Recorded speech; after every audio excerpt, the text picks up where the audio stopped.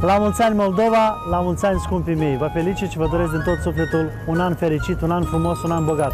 Poate mă repet, dar sunt cel mai fericit tătic și vă doresc o familie frumoasă și mulți copii. Pentru că ei sunt cei mai dulci. Vă pup, la mulți ani!